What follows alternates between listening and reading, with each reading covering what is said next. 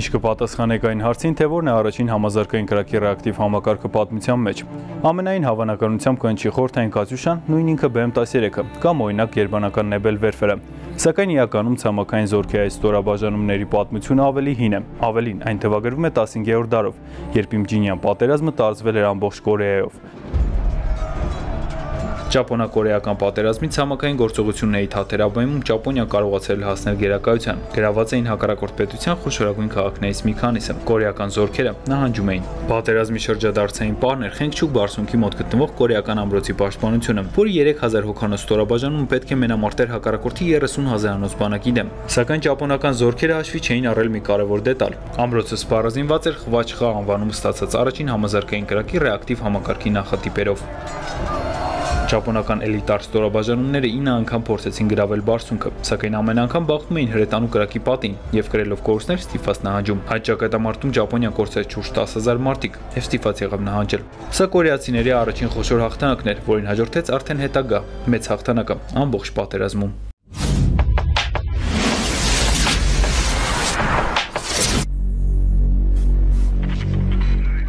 Հաջորդ անգամ եւ ոչ պակասզորությամբ համազարգային կրակի ռեակտիվ համակարգերի ստորաբաժանումները համազարգ տվեցին արդեն երկրորդ համաշխարհային օրերին։ Ներկայացուցիչն էլ անվանվեց բոլորի սանոթ պատերազմական երկի վերնագրով։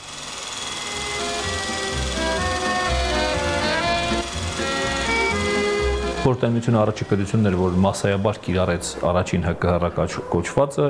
ինչպես եւ երկը լեգենդար Կատյուշան, որը որ երկրորդ համաշխարհային ամբողջ ընթացքում սկսած առաջի մարտերից ինքը անակնկալի բերեց գերմանական զորքերին, մինչև պատերազմի վերջ, մենք նաև կինոխրոնիկայով շատ տեսել ենք, գիտենք, շատ սիրված միջոց էր հրետանավորների կողմից եւ բավականին արդյունավետ կիրառվում էր ըստ խորհրդային դոկտրինայի։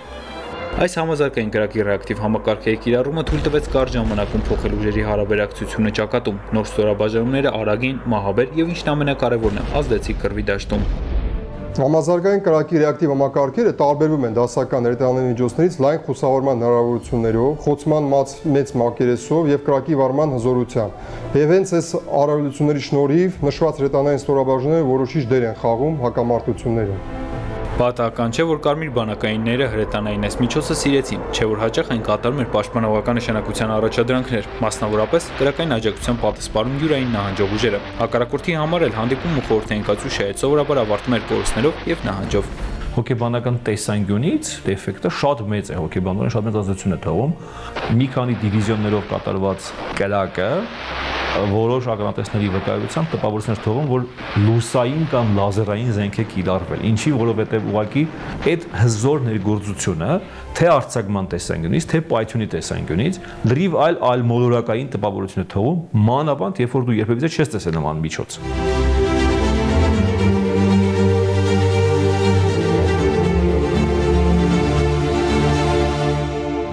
մարտահրավերները պահանջում են նորարարական լուծումներ եւ տեխնիկական հնարքներ։ Կարմիր բանակին հարկավոր է նոր հրետանային միջոց, որը հրթիռային ռազմական տեխնիկայի զարգացման դարում կարող էր կազմել խորհրդային ցամաքային ուժերի հրետանային ապահովումը։ Հենց այս պատճառով եւ հիմնավորմամբ 1960-ական թվականներին ստեղծվեց համազարգային կրակի ռեակտիվ համակարգերի նոր սերնդի ներկայացուցիչը BEM-21 կոդավորմամբ։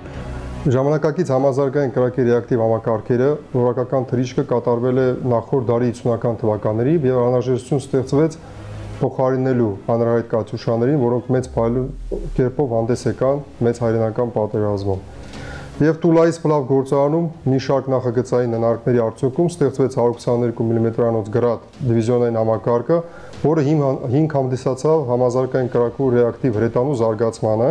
Հանձնաժողովի դատին ներկայացված այն տեխնիկան հարուստ էր ինժեներական լուծումներով։ Ձևափոխվել են ինչպես համակարգի հրթիռների կառուցվածքը, այնպես էլ արձակման կայանը։ Մասնավորապես գրադի հրթիռների քանակի ավելացման նպատակով մշակվել էր արձակման փողերի պատրաստման նոր տեխնոլոգիա։ Ձևափոխման էին ենթարկվել նաև հրթիռների թևային մեխանիզմները։ Նորաստեղծ համալիրը պետք է դառնար մի ամբողջ պետության ցամաքային զորքի հրետանային հիմնական միջոցներից մեկը։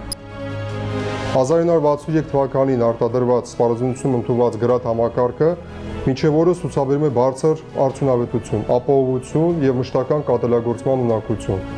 Մշակվել եւ արտադրության մեջ են գործարկվել այդ համալիրի բազմաթիվ նոր մոդելներ, որոնք հիմնականում տարբերվում են բազային մեքենայի տեսակով, ուղղորդիչների քանակով եւ հրաձգության մեծ հեռավորությամբ։ Հետագա մարտական գործողությունները ապացուցեցին, զինտեխնիկան գործում է մեծ արդյունավետությամբ։ Ավելին, ճիշտ կիրառման դեպքում հնարավորություն է տալիս ամբողջովին լրացնել հակառակորդի ուժերը եւ հող նախապատրաստել հակահարձակման համար։ Մարտական գործողություններն ի հայտ բերեցին նաեւ զինտեխնիկայի արդիականացման պոտենցիալ ու զարգացման հնարավոր տարբերակների բազմազանությունը։ Գրադ շատ տարբեր տեսակ կա, այո, ինքը ուներ նաեւ փոքր տեսակները, ոչ թե 40, այլ 20 արձակման կայաններով, ուներ դեսանտային տարբերակը, որը նաեւ պարտիզանական էին անվանում եւ շատ-շատ տեսակներ կային, որոնք հատկապես ԽՍՀՄ-ի ժամանակ աշխարհում դարձավ շատ-շատ-շատ կիրառվող միջոց։ Ես չգիտեմ կա արդյոք որևէ ՀԿՀՌՀ հատկապես ոչ մեծ դրամաչափերի մասին է խոսքը, մինչև միջին դրամաչափեր, որը գրադիչափ massականություն վայելում է աշխարհում։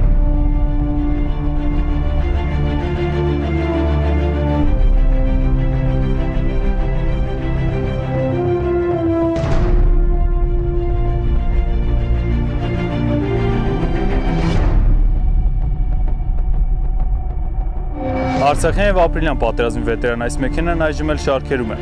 Պատրաստ կատարելու իր առաջադրանքը, անսխալ խոցել հակառակորդին եւ հետ մղել յուրաքանչյուր հարցակում։